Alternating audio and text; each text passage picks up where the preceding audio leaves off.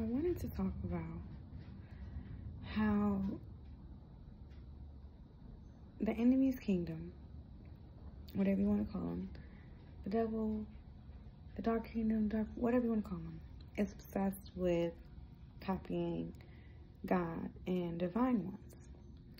And I remember um, being on plant medicine and raising my vibrations to the point where I could hear um, that my ancestors wanted to dance with me and I could see them and they were so happy to see me and they wanted me to dance. And what I realized is even in um, Greek sororities and fraternities, it's mimicking, you know, I, I was listening to this one YouTuber and he was talking about his family has a dance. And, you know, down to the crest, down to everything. The royal family has a crest and your lineage has a dance. Your, your tribe has a dance. And so dance with your ancestors when they invite you, when you, when you, when you raise your vibration and you feel that invitation, dance with them.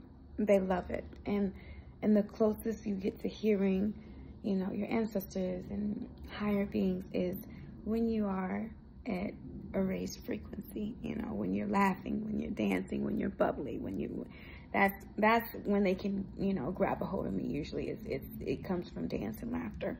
But what I would say is, um, dance with them. And when I was thinking about the strolling, you know, with the sororities and fraternities and how we're drawn to that. Um, and God was dealing with me about how, you know, I was like, well, I was drawn to this because this, and he was like, you know, because they mock who you are. They mock, you know, who we are. And absolutely, you remember um, some of those things, you know, having family dance, having tribal dances, having a family crest, you know, um, all those things were taken from the divine kingdom. Um, obsessed with mocking God. It is so, it is like weird. Like, I don't get it. Like, like I would listen to these like chosen one copy, you know, copycat videos and totally re resonate and relate. But dang, like just obsessed, you know. So yeah, if you're a divine one, if you're chosen and your ancestors invite you to dance with them, dance.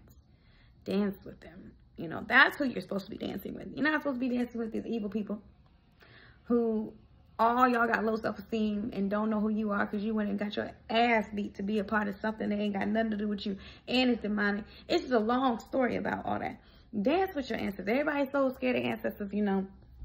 Um, everybody's so like, oh, you know, if you, I'm not religious, you know. And for me as a chosen one, you know, my relationships are different. Absolutely. The most high contacts me. Absolutely. My angels contact me. But absolutely my ancestors contact me, whether it's through dance, whether it's through songs, whether it's through I can hear them calling, you know, a nigga that they don't want me to be with a peasant. Like, they don't play about me. And so, you know, I don't know about other people. A lot of the things that they say that, you know, you guys should not be tampering with are really only for the chosen one, you know. So, a lot of the, the, the, the stones that y'all be playing around with, a lot of the spell, all of that is really, a lot of the spiritual stuff that y'all have been scared to touch, it's for a reason, but it's specifically for certain beings. And so, you know, I have a divine right to absolutely certain um, magic, certain washes, certain herbs, knowledge about certain herbs. Crystals will work for me differently than they would work for an, a non-divine being. I'm sorry. They just do. You know I'm saying? The same thing with when it comes to plant medicine. Shrooms work differently for me than they would for a regular human being. Um, and that's just what it is. You know, I used to, you know, recommend them to people thinking, you know, it would have some type of profound impact and they would have some type of meeting with their ancestors and angels and the Most High God. And they would sit down and, evaluate their mission and what they needed to do and what needed to be cut off to be moved forward. And, you know, I thought it was going to be some type of profound experience, but I understand that the plants react differently to me the crystals react differently to me. So everything, nature, the birds, squirrels, everything reacts different to the chosen one. So I'm not saying for everybody, but for me personally, absolutely. My ancestors, especially the elevated royal beings that they are, um, absolutely reach out to me in different ways.